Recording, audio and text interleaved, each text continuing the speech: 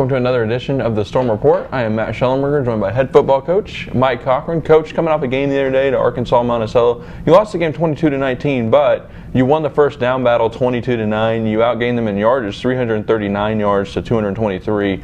What was the overall difference um, in the game? Mm-hmm. Uh, it really came down to special teams. Um, we, we outscored them, our offense to their offense, 19 to 12. Um, but we gave up a blocked extra point that went back for two. That's a that's a three point difference because we lost the one, and uh, then a punt return for a touchdown.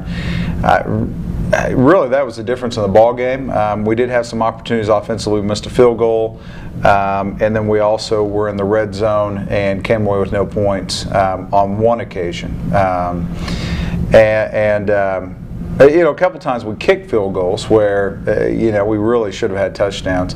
So there's a lot, in a close game like that, there's lots of opportunities, lots of things you can look at, say, well, we could have won it here, we could have won it there.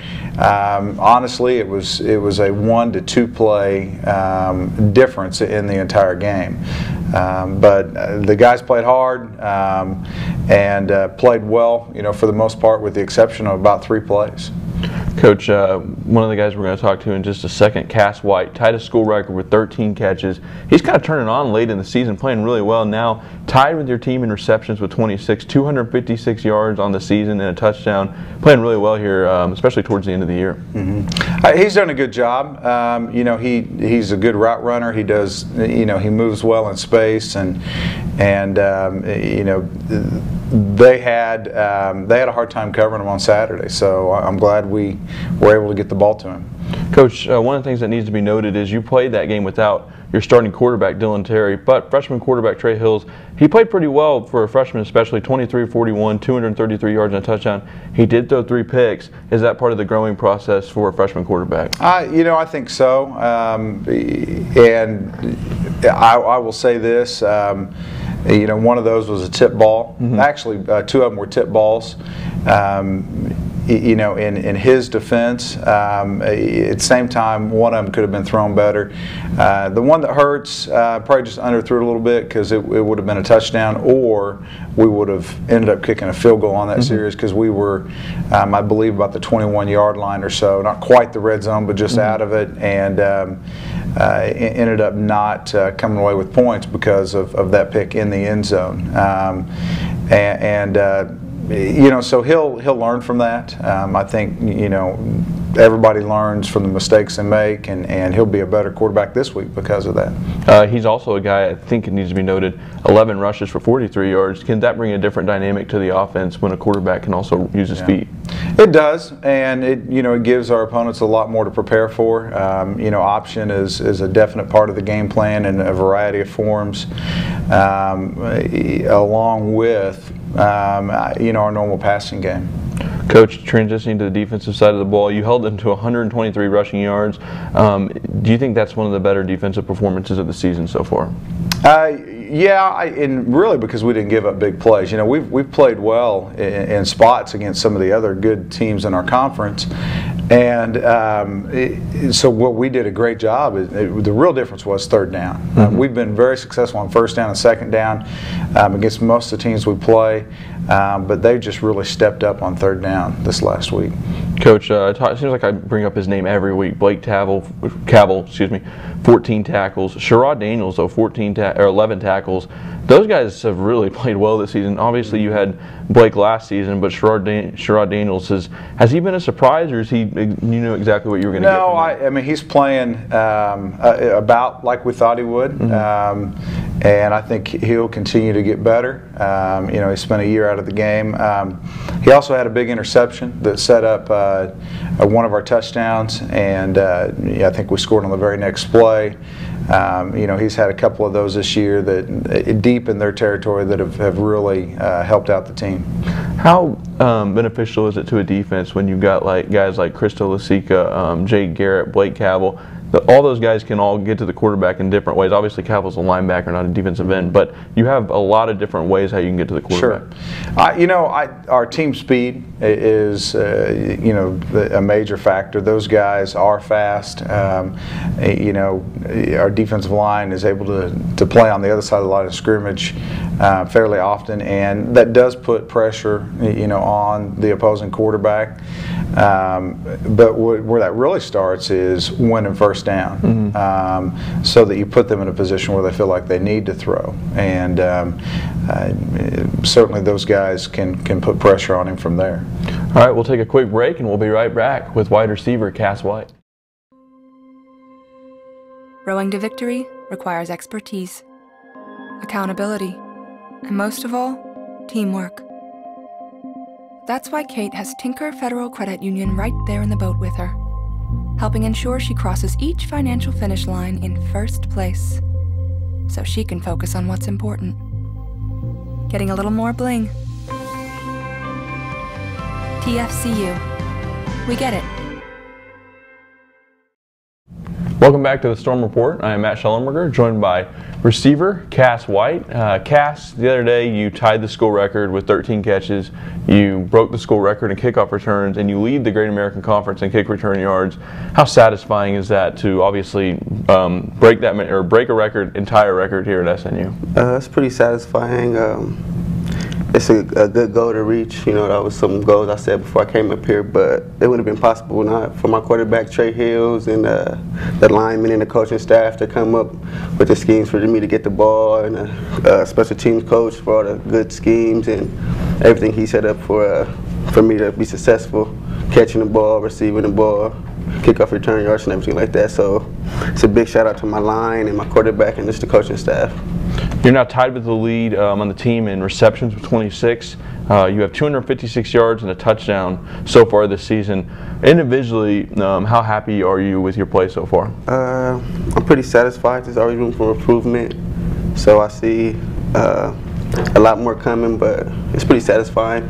I know what I can do and uh, much more I can facilitate for the team and things like that. Just benefiting the team mm -hmm. is the key. So it's pretty pretty cool. What's one thing that you guys can do to improve as an offense? You've improved week after week. It seems like.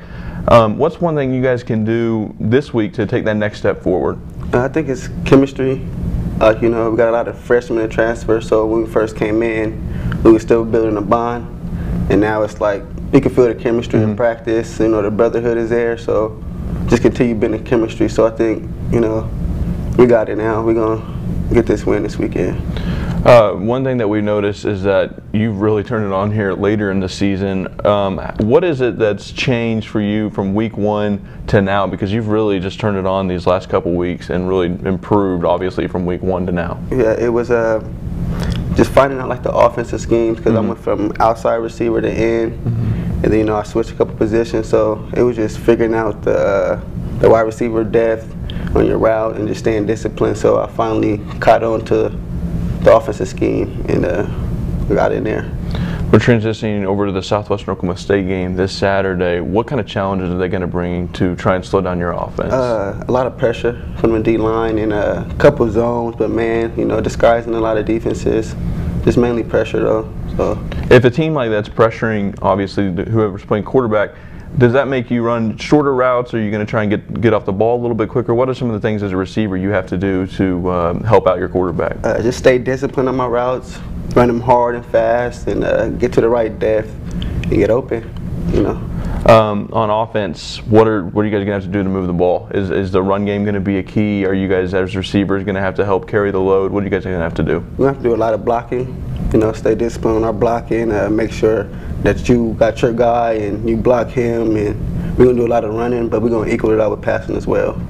I gotta ask you, as a special teams guy and a receiver is it more exciting to return that kick, or is it more exciting to maybe possibly have that long ball or catch a slant go 70 yards? Uh, man, that's, that's that's a hard decision. I just enjoy getting the ball in my hand, so uh, I have to go both, you know. But I just like the ball in my hand.